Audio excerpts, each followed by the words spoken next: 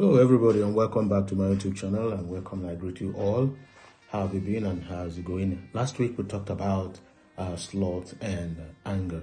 So, and uh, there some questions came up on YouTube channel. There's a question that was asked by a sister there. He said, uh, In case a man is not sloth, hardworking, who is earning money, he has money, everything is coming on well, but he keeps on giving excuses that there's no money, no business, and stuff like that, and keep lying to his or her partner. So, what will you do about that? So, my response to that would be that remember last time we talked about responsibility, that a man is to be responsible to provide for his family, provide for the needs of the family. And we made a reference to the Bible in First Timothy chapter 5, verse number 8, that if a man fails to perform his duty providing for the family, that the man is worse than an unbeliever, that he has denied the faith. So he, it is his sole responsibility to provide for, for, for the family, for the family. But you, as a lady, as a partner, should be also ready to support that man. You know what I mean? Do you also be? You need to be responsible. Do not rely on him for everything. That he has to provide everything in the house. Yes, he is the head. He has to provide, but you are to support him in case he's not he's lagging behind. But in this case, he said the man has the money, but he is failing. He deliberately, let me use that word, decided not to be responsible in the family. I'll give you an example of one movie I watched. The man will always complain there's no money, there's no money, so he doesn't leave money in the house and he will go home and so he came back one day, one night, and he was ready to eat, and the wife just brought out the bowl. When he washed his hand, he opened the bowl, the bar was empty, the bowl of soup was also empty, and I said, Oh yeah, eat now. The money you left. So he, not he left nothing, so you're not gonna eat nothing.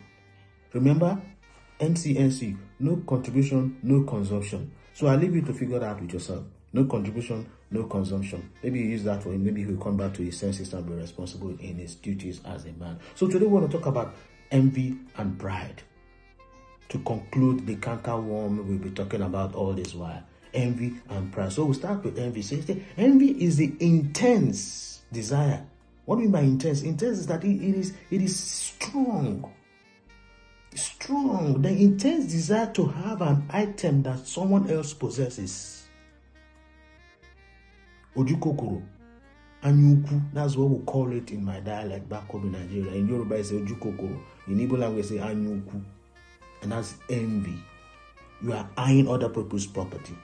You are eyeing what they are wearing. You are eyeing what the kind of phone they are using. You are eyeing the kind of shoes they are putting on eyeing another man's another another another another man's woman, eyeing another man another another, woman's a man. Envy. And in the book of Exodus chapter 20, the Bible puts it there when you talk about the Ten Commandments, it says, Do thou shalt not have a covetousness, to avoid it, of other property.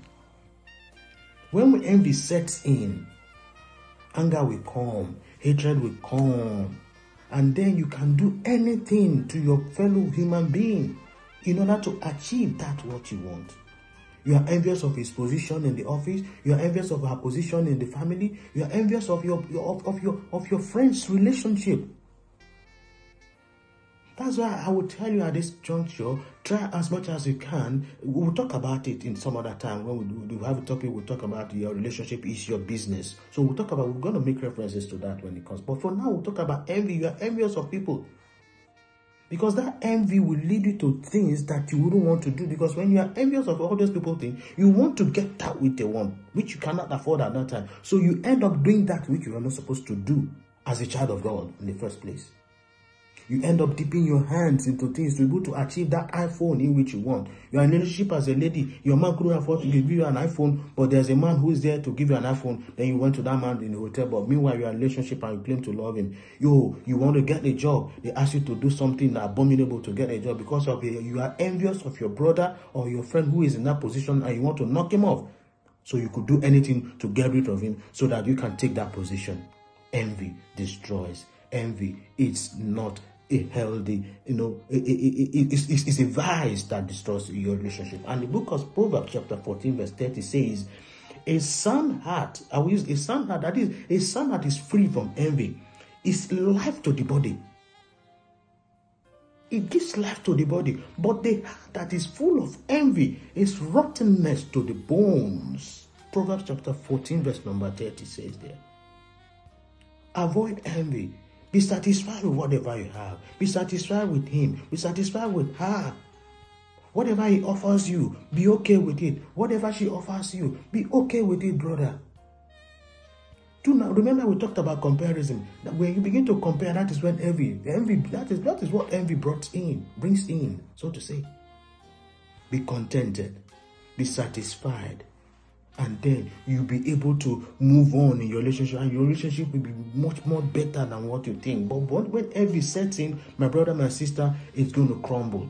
I can I will leave you to other passages in, in the Bible, like Book of Job, chapter 5, verse number 2, Proverbs 24, 19 to 20, and Galatians chapter 5, verse number 26. For the paracetamol to envy is kindness. It cures envy completely. Be kind. Once you are kind, you'll be able to know the spirit of the spirit of satisfaction will come to you. Then you'll be able to be content with whatever you have and you'll be content with your man. You'll be able to fall along with your woman, and everything will go in the way you planned it to go. Next one we'll talk about is pride. Hmm. That is the greatest of them all. All other six we talked about are subsumed, subsumed, subsumed in pride. Because pride is the is the chief of them all. Because when someone is proud, every other thing is meaningless. So he says pride is an excessive view of oneself without regard for others. You have no respect for anybody, be it your partner, be it your man or woman, be it anybody, be it your friend in office. You are full of yourself. You only talk about yourself. Your own idea is the best. Your own view is the best. Whatever you say it should be that which should be accepted. And every other thing that comes after it should be nonsense. Should be eradicated. Pride. Remember in the Gospel of Luke, chapter number 18, verse 10 to 14. There, the Lord told us a parable of the two men who went into the temple to pray. The first man went in there and said, Lord, have mercy on me, a sinner. And the Bible tells us that the man went away being forgiven because he humbled himself. He remembered his nothingness. He remembered his worthlessness and he was healed. But the other man went there and said, Lord, you know, I pay my tithe regularly, I speak in tongues, I pray prayer, I do this, I do that, I make sure I do whatever I do as a Christian.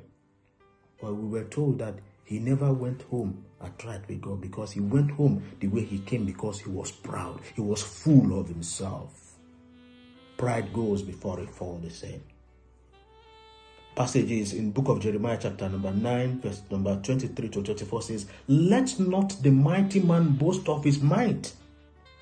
Do not boast of whatever you have, because whatever you have been given to this has been given unto you by God Himself. Whatever you have, whatever money you have, you might think that you, you are doing better than your man or you are doing better than your woman, and you think everything, every every every every authority should come from you. Whatever you say in the home should be the last, and nobody should question your authority. Who are you?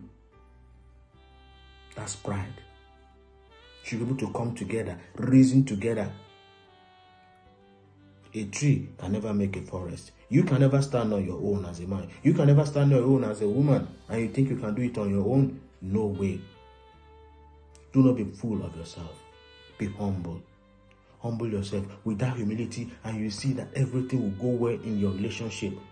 Proverbs chapter 18, verse 13 much about pride as well. Romans 12, 16 talks about it. Galatians 6, 3 talks about pride as well. The paracetamol for pride, you all know, is humility. Humility, I will say, leave this to you. Humility cures pride by removing one's ego and boastfulness. It's supposed to be we before me. Put others before yourself. Think of others before you. Before you do anything, think about others. Think about him. Think about her. Say, put others in your shoes before you act. So, humility cures pride by removing one's ego and boastfulness. Therefore, allowing the attitude of service, you'll be able to ready to serve. And that is what our Lord did. He humbled himself, and all the prophets, both in the Muslim and the Christian, they humbled themselves to serve, and that is why we, still reverence them today. We still, our Lord Jesus Christ, look at him today. He humbled, he got that in Philippians 2 when he said, though he was in the form of God, Jesus did not count equality with God a thing to be grabbed. He did what? He humbled himself and took the nature of a man, and he died. And what kind of death? A shameful death, a death on the cross. humility sets in there you also need to be humble in your relationship. And the word sorry should not be far from your mouth when you offer offend him, when you offend her. A contrite heart. Look at the man who said, He said, Lord, I'm sorry, have mercy on me. And the Lord forgave him. But the other one who says, No way, he went away the same way he came. So I will leave you with this story. There was a group of people who were making a journey and they got stuck in a bridge and they, because the bus couldn't move. They tried all they could do to move the bus, but they couldn't. So a little child came. He said, Lord, why not let's, let's reduce, he used the word, reduce the tire, that is deflecting the tire a little bit. They were looking at him, what's this bomber, what does he know? They belittled him, he has no idea. So one man said, why not give this, give it a thought? Let us do what the boy say, says. And they deflated the tires, and the boss, and they said, okay, let everybody come down as the boss has directed. And they moved. And the boss was able to go through. So you and I, every one of us in our relationship, whatever we do, we need a little deflation to allow things go through. And with that deflation, we'll be able to make it in life. So I leave you with that. And I want to pray that as this period of Lent for Christian and brothers comes to an end and Easter is coming, we pray that our sacrifices, the Lord will accept it. And for our Muslim brothers and sisters who have just started the Ramadan period, I pray that all your sacrifices and thanksgiving and the fasting, the Lord God Almighty will bless them. So I leave you with that now. Till next week, I'm going to see you. Until then, peace be with you.